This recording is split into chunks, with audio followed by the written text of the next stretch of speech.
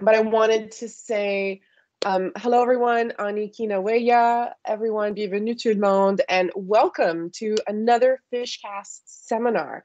My name is Dr. Christina Semeniuk, and I am the director of Fishcast, which is an NSERC Create training program that's meant to train the next generation of Canadian scientists in freshwater fisheries management and conservation. And we're the only freshwater fisheries training program right now in Canada that's specifically freshwater fish. So we're really, really excited about that. I am coming in from Treaty 2, also known as the traditional territory of the Three Fires Confederacy of First Nations, and that includes our the Odawa, the Ojibwa, and the Potawatomi peoples. I am so privileged to be here as the beautiful sun is streaming through my window as I as I hear the frogs and the, the toads chorusing and all the birds. I really am thankful for the privilege I, have been given to, to not only live here but to work here and do research, as well as in other places across the country. Fishcast is it's not just a training program. We're really striving to be a community, and we're approaching our mid to later second year. It's a six year long program, but we really do have a mission to work with our graduate student trainees to move beyond land acknowledgements and more into the space of meaningful partnership and relationship building. And this type of meaningful relationships that acknowledge the history, connection to, and knowledge of the land in which we're situated.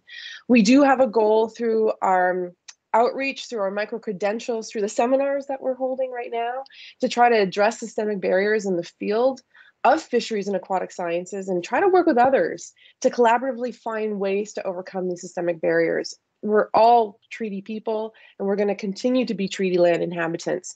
And so we're really, really excited to always bring in members of our Fishcast community. Um, for example, Dr. Uh, Trevor Pitcher today to show you ways in which we really are trying to engage and, and to move beyond the basically the barriers of academia and into so many other really, really important avenues for freshwater fisheries conservation and management.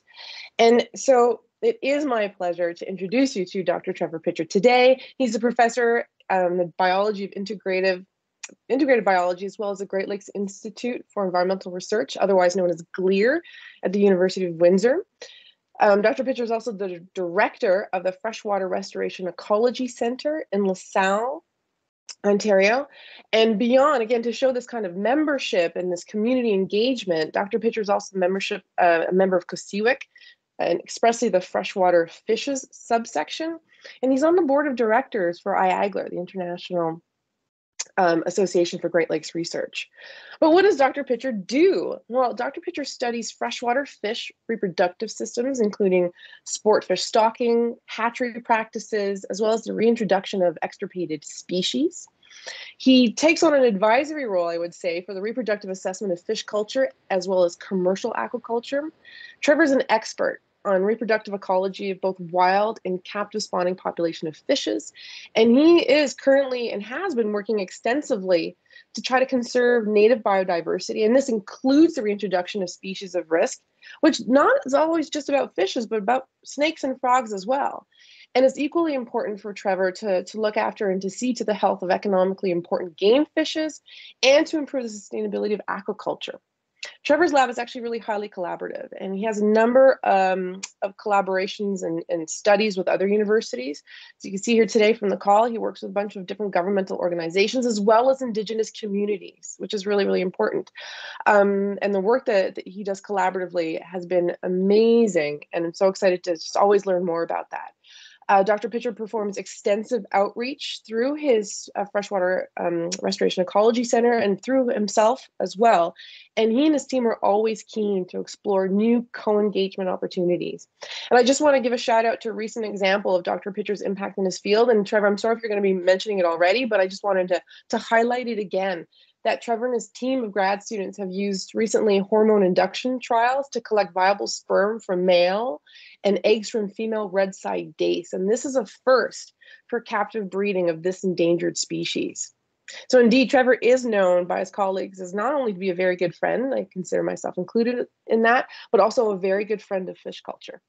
So we're proud to have Trevor as being a, an integral member of our Fishcast community, and we can't wait to learn more about reintroduction as a conservation tool for fishes. And so if you can please join me in welcoming Trevor today. Great. Well, thanks for that introduction. Uh, I better live up to it now.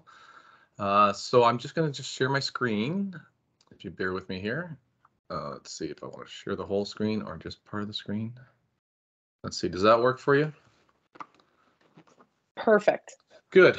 Well, thanks again for that really warm introduction. And, uh, you know, a lot of things you mentioned are really important to me in our lab. So I always say our lab because a lot of the work I'll present today is based on students that have really worked hard in the lab and postdocs.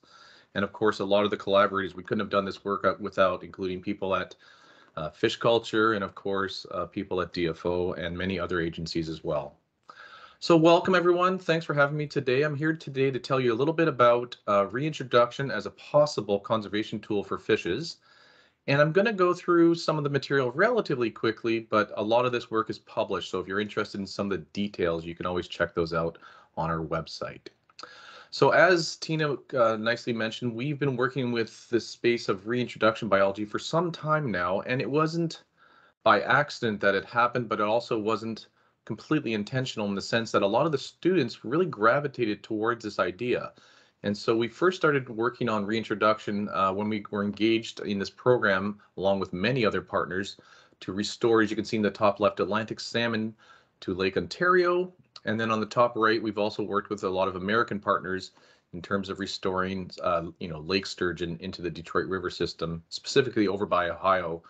Um, so those are the two areas where we really got started on this. And as you'll hear today, we also started moving into uh, other species at risk as well. Then on the bottom, as Tina mentioned, students in the lab also work on frogs, shown on the bottom left. So one of my master students worked previously on frogs. This is a Mississippi gopher frog and they literally have one pond left in all of North America. So, you know, we're talking about a species at the brink of extinction.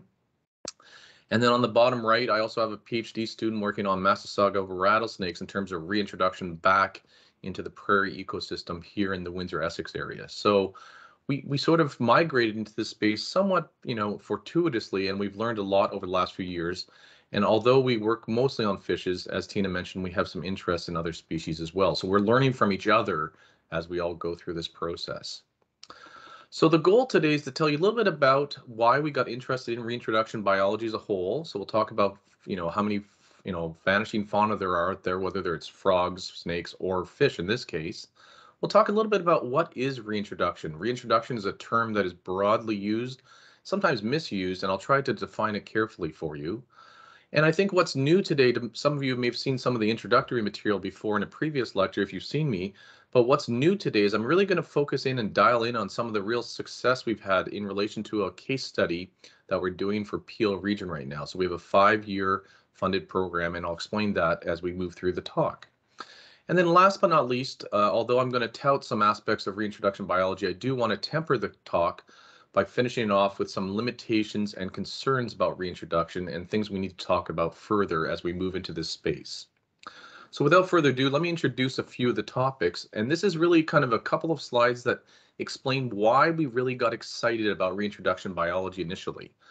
So we know, obviously, a lot of us on the call know that fauna are vanishing at an alarming rate. So whether it's plants or animals, but specifically in animals, the extirpation rate is incredibly high right now. And there's been a term called the Anthropocene defaunation, where we say that in the last couple hundred years, the rate of extinction or extirpation have been so high that they came up with this term because it's mostly human induced.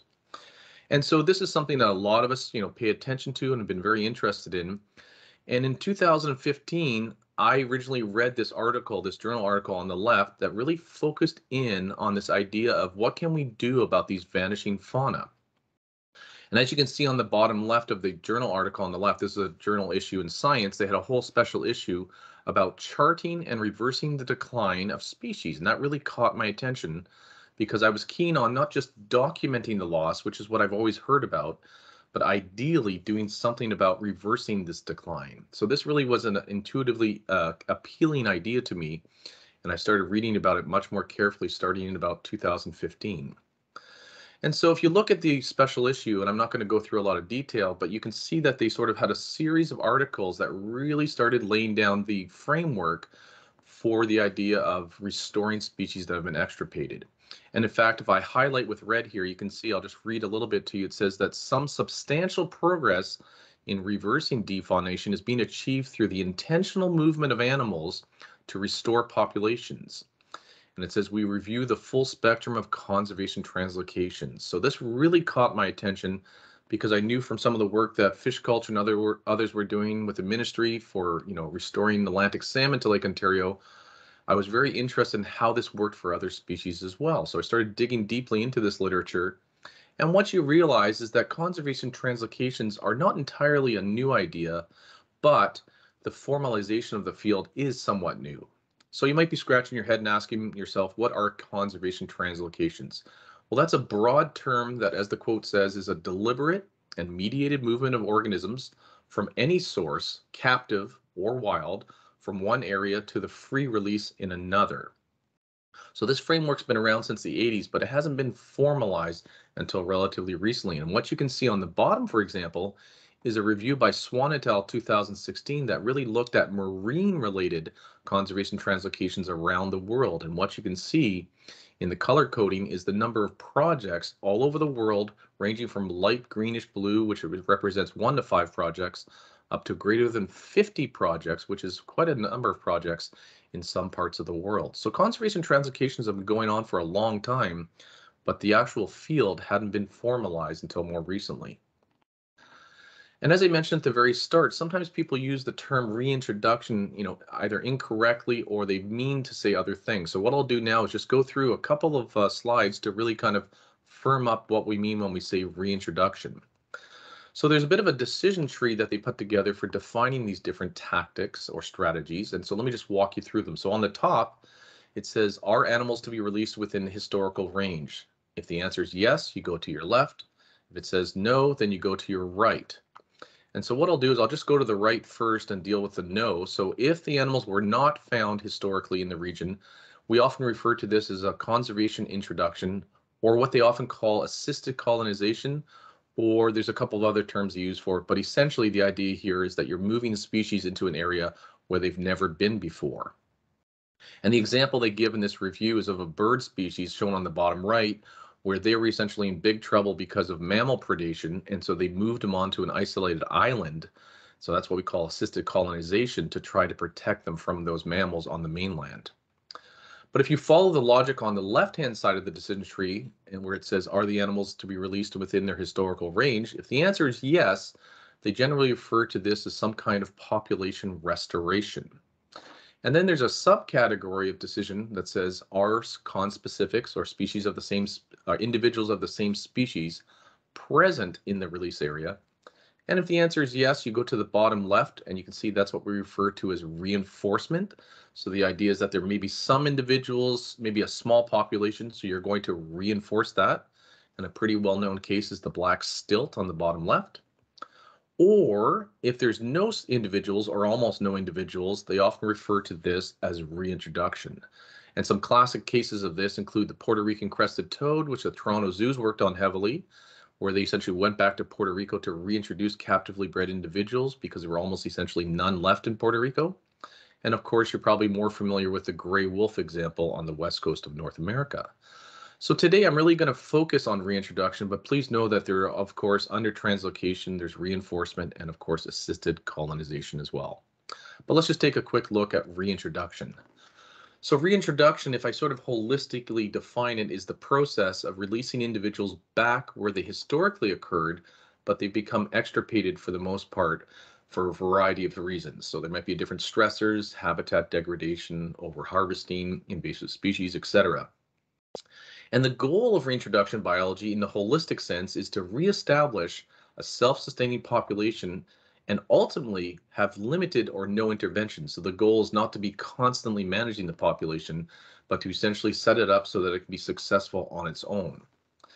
And the second last bullet on the bottom says that this concept of reintroduction, and I put this in quotes myself, is relatively speaking quite radical because the concept means that if you're reintroducing a species back, it's pushing the line backwards by bringing a species that's been extirpated back to the ecosystem. So you're really altering the ecosystem.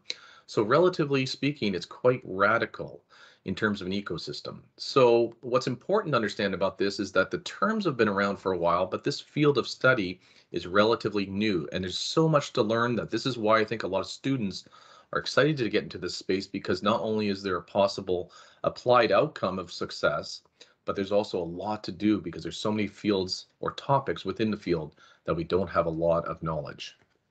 And in fact, if you kind of scan the horizon for the textbooks related to this, you can see that they're the most recent textbook on the right, the reintroduction of fishes and wildlife populations, only came out in 2016, and the original textbook on advances in reintroduction biology from New Zealand and Australia came out only a few years before that.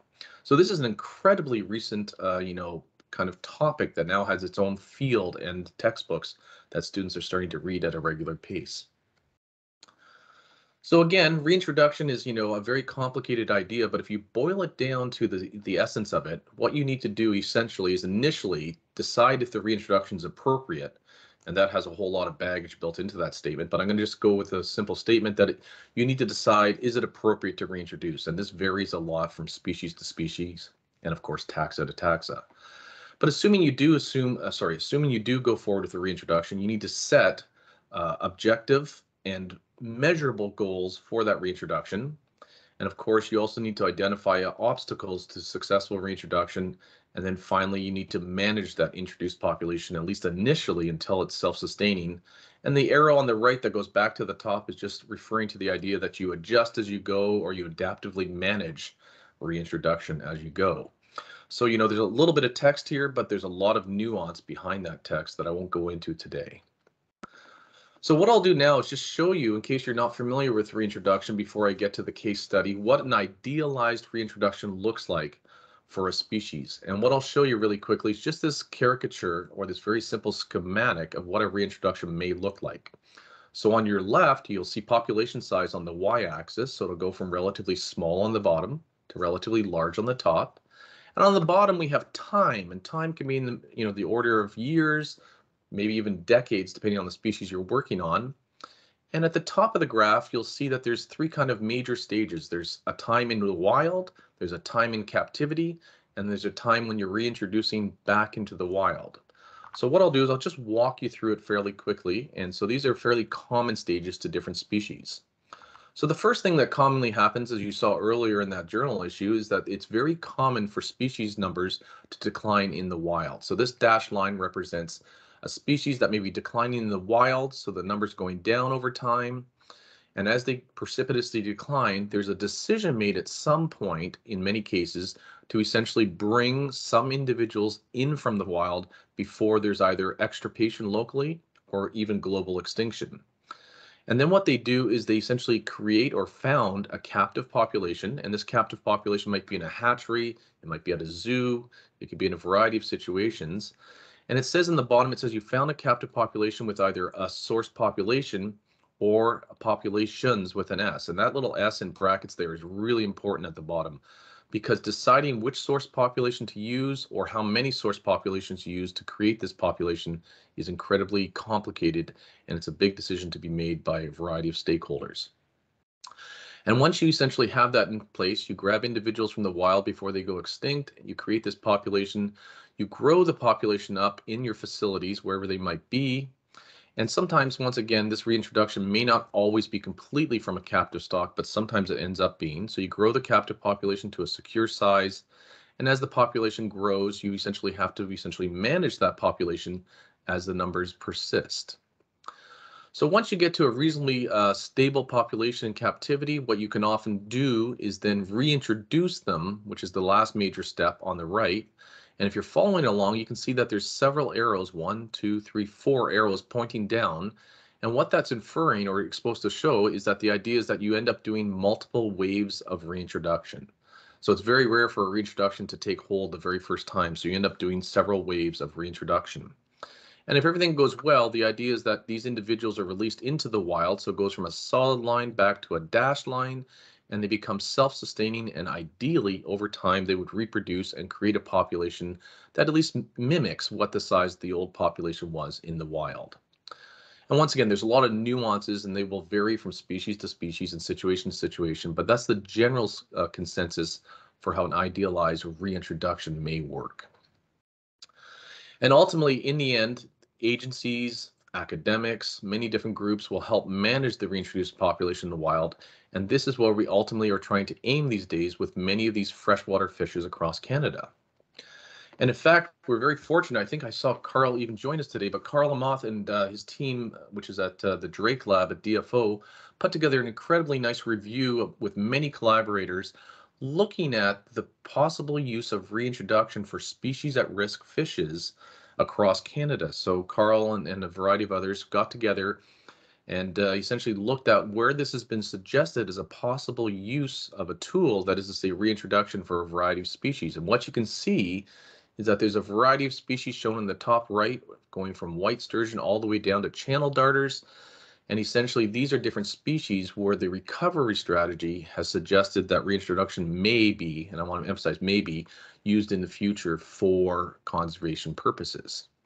And in that entire list there, if you kind of squint heavily, you can see right in the middle there, I'll put it right around it, you can see that there's one species in particular that our lab's been very fascinated with for a long time, and that is the red-side dace. So among this large group of freshwater fishes and a couple of marine ones, uh, red-side dace is the one that we've really focused on the most. And in fact, as Tina alluded to earlier during my introduction, we've actually been part of a uh, reintroduction feasibility study. So I want to emphasize the feasibility study. So we're not doing a reintroduction, but assessing the steps needed to get ready for a reintroduction. And it's a five-year project from 2020 to 2025, working on red-side dace, which, as you probably know, are endangered in Canada. And this is a, in partnership with the municipality of Peel, because when they applied for a road widening project uh, permit, it was deemed that it was going to affect habitat needed by red-side dace, and as a consequence, it triggered a overall benefits application for that permit. And the overall benefits uh, permit essentially just says that you need to do something positive for the species and mitigate any kind of habitat alteration that you're going to have. I'm sort of oversimplifying, but I'll show you a graph really quick of what the overall benefits rules kind of look like. And so when we did this, this was back in 2019 when it, the first application was put in for Peel Region.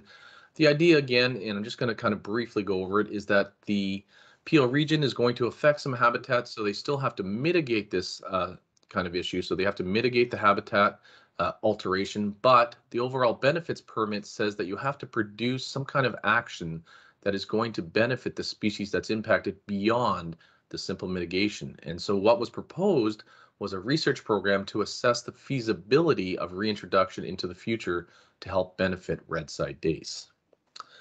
And here's what I came up with with our team. And our team came up together and said, well, how do we approach this? Because there are so many unknowns. So what we did is we mapped out several scenarios and we sort of put it into the simple diagram to try to explain what we would do over the next five years pending a variety of outcomes. So really quick, I'll just walk you through it. So at the top, it says you need to first, you know, to assess feasibility, you need to confirm suitable translocation slash reintroduction locations. So that initially tells you we're not even sure if a translocation makes sense or reintroduction makes sense. But next, you would then identify a donor population for either a captive population for reintroduction or a donor population for moving them as part of a translocation.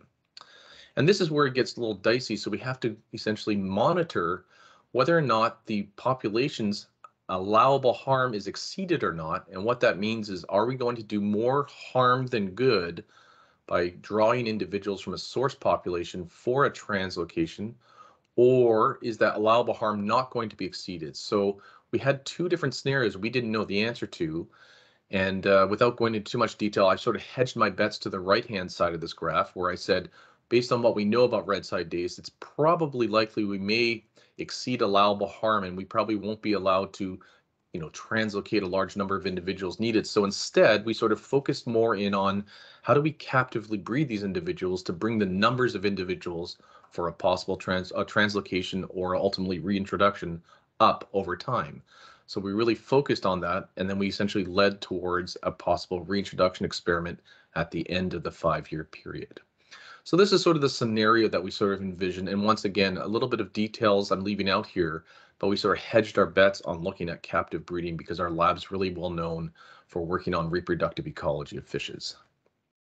So what I'll do in really few minutes is just glance over some of these parts of this project, which is a five-year study.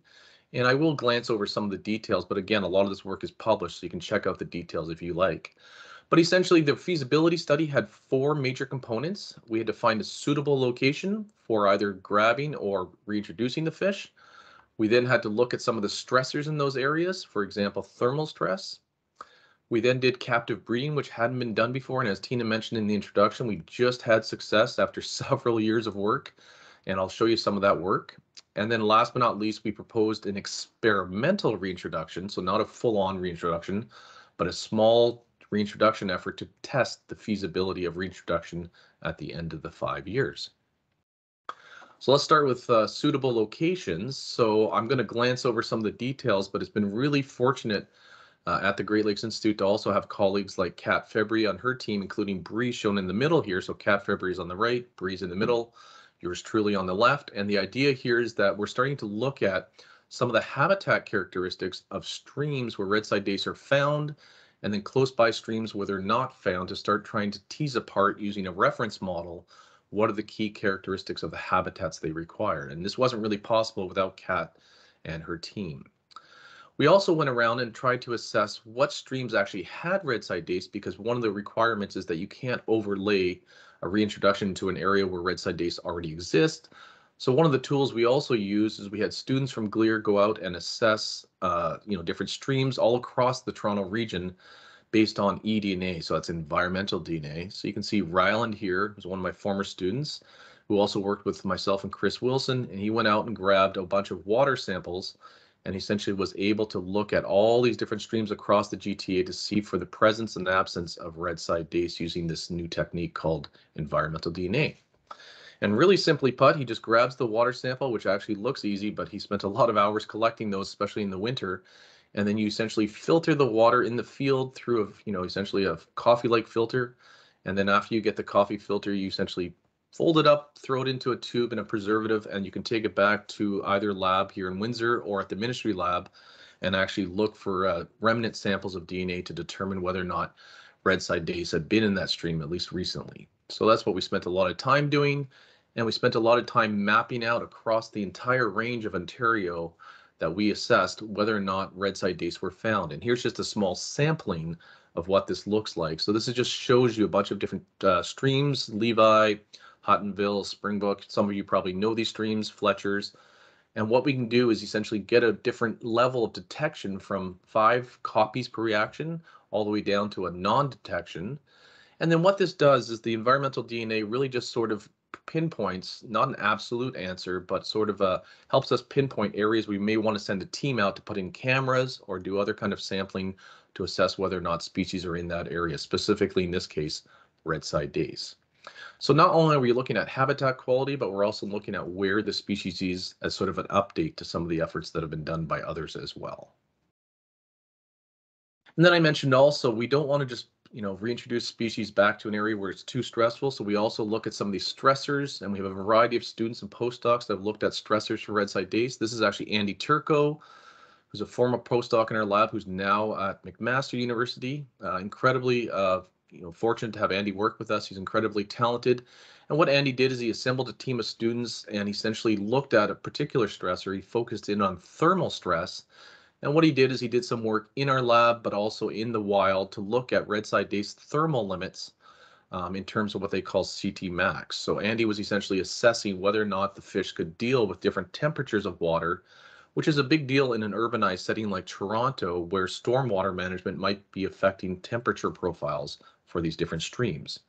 So here's a little snapshot from one of Andy's publications. You can see on the y-axis is CT max, and CT max, if you're not familiar with it, is sort of the maximum temperature before the fish kind of turns over on its side, essentially right before it's lethal. And what you can take home from this, and Andy looked at them at different times of the year, uh, is that you can see that there's different thermal maximums at different times of the year, which is very interesting. And you can see there's subtle differences between juveniles shown in the yellow on the left, and then there's some differences sometimes between males and females, depending on the season. And as because Turko's so talented, Andy's so talented, he didn't just leave it at looking at this at a correlational standpoint. He also experimentally manipulated these fish in our captive breeding center. And what he did, which is really clever, is he altered the ration or the food input for these animals. And he found that by essentially giving the red side dace more food, they had the ability to essentially persist longer in higher temperatures. And this is doesn't seem like a big deal when you see only one or two degree difference, but this could be the difference between life and death for these red side dace in the Greater Toronto area. So in this very simple diagram, you can see on the left that essentially he shows that the ration or the food input did significantly alter um, the adults' ability to persist, but not the juveniles. So this is a big deal because this allows us to say that, you know, any kind of restoration effort that's done in the area that helps promote more insect biomass, maybe helping this species persist. So this was one of the big outcomes from Andy's work.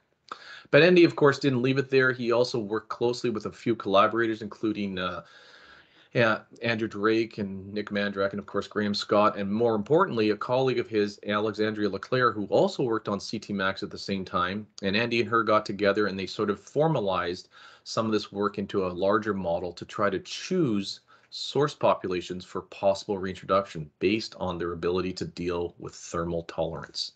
So once again, glancing over the details, but the main point here is that you can see in the bottom left that there are three distinct geographic uh, isolated populations from a genetic standpoint that have been identified previously, and they actually have quite different characteristics in terms of their thermal tolerance.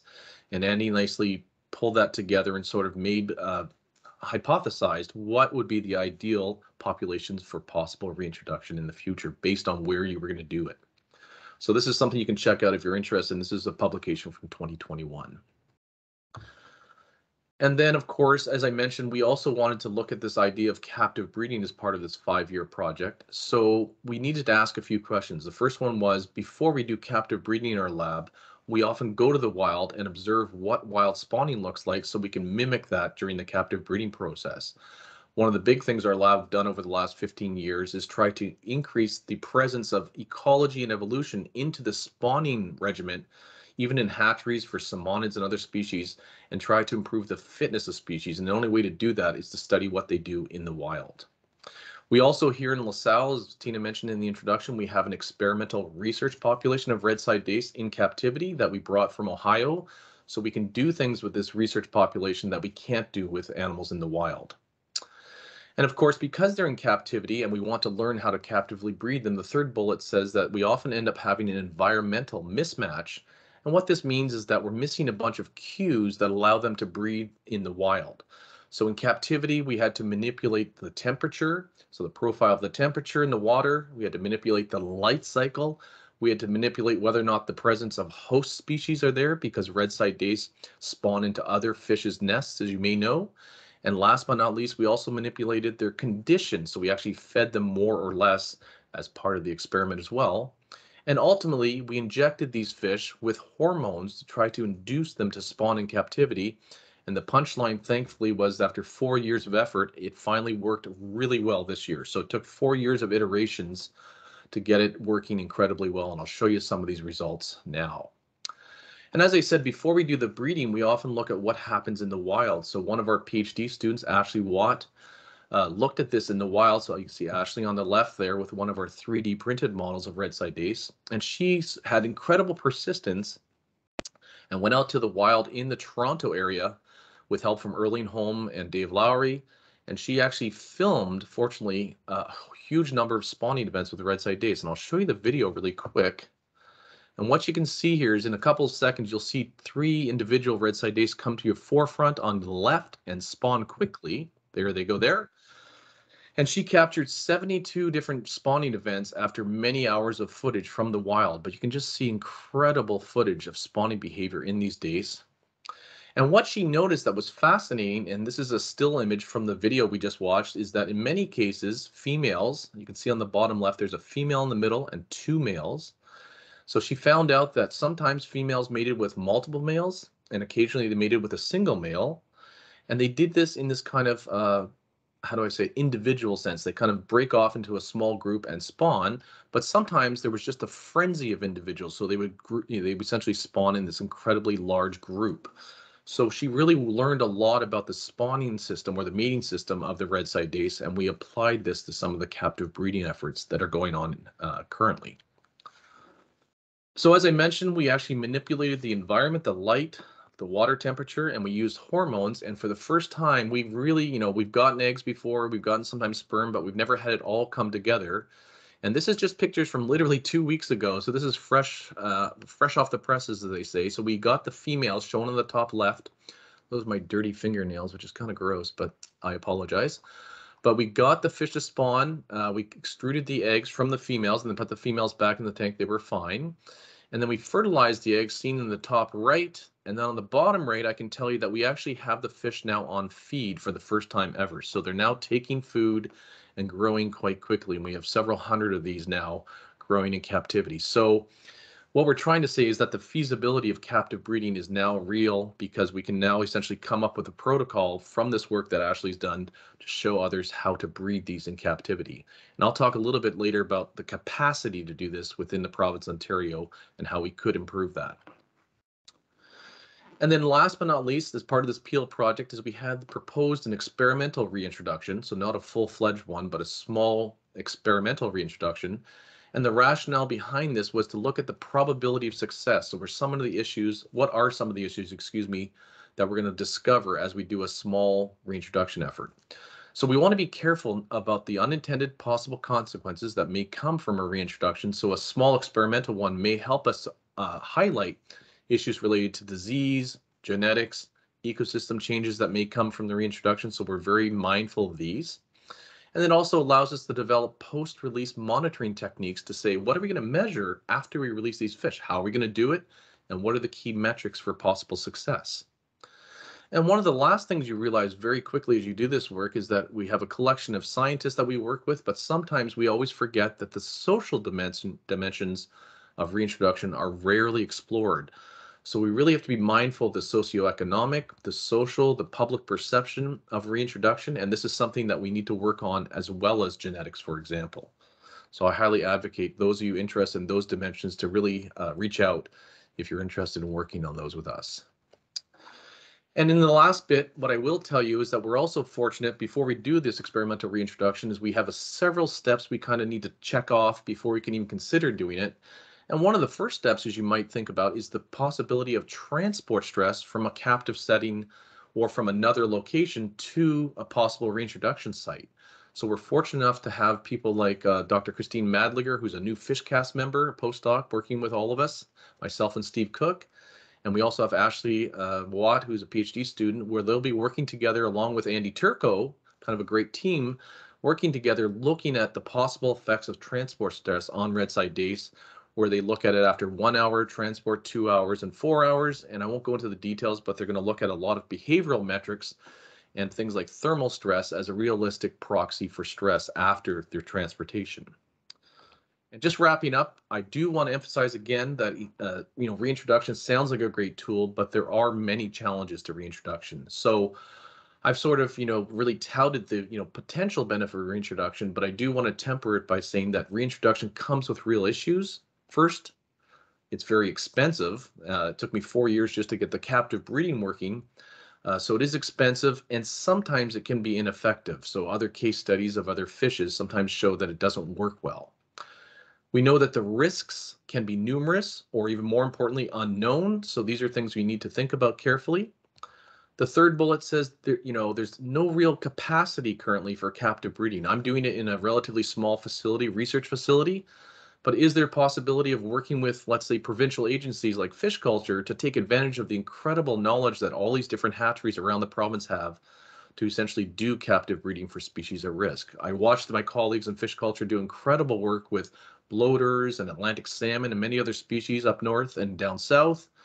And with that kind of expertise, can we essentially create a large number of red side dace, let's say, for possible reintroduction? Last but not least, of course, there are real policy issues that need to be tackled, and this is something that is uh, ongoing with a lot of reintroduction questions. And so our colleagues in policy are working hard to find ways to, you know, decide if this works or not. And last but not least, uh, you know, the real question for me is that we need to do this carefully. And a lot of my colleagues agree with this, that reintroduction, we don't want to rush into it. But one of the challenges of reintroduction is that if we wait too long, a species like red-side dace may be gone from Canada. So the question is, do we wait? How careful are we? You know, how long does it take before we actually do the reintroduction or not? And if we wait too long, we do risk losing the entire population within Canada, of course. And so, of course, there are solutions to that. So, you know, one thing we proposed very early on is a postdoc of mine, Ian Butts, developed a methodology to actually cryopreserve sperm, that is to say, genes from Canadian populations in case of possible extirpation. And so there are ways that we can actually genome resource bank, that is to say, put away genes for later reintroduction and captive breeding if we so choose. So these are all sorts of issues related to reintroduction that are coming up during this feasibility study.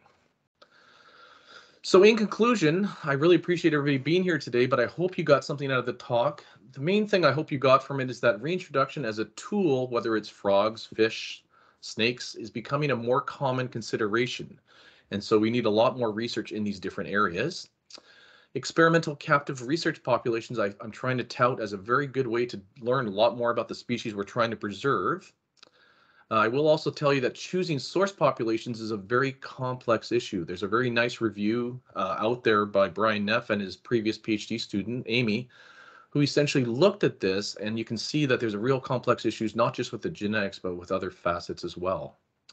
And importantly, for those of you interested in this field of reintroduction biology, it's a new field and there's many knowledge gaps. So there's lots of space for different groups working on genetics all the way to social science to collaborate together on this. And again, I left out some of the details, but if you have any questions, you can check out our lab, which is shown at the bottom left, the website, or you can always check out some of our Twitter feeds where we show some of the results from the work we've been doing lately. And with that, I'd be happy to take any questions anybody might have. Thanks so much, Trevor. Really, really appreciate it. And thanks, everyone. Yes, please join me in thanking Trevor for that talk.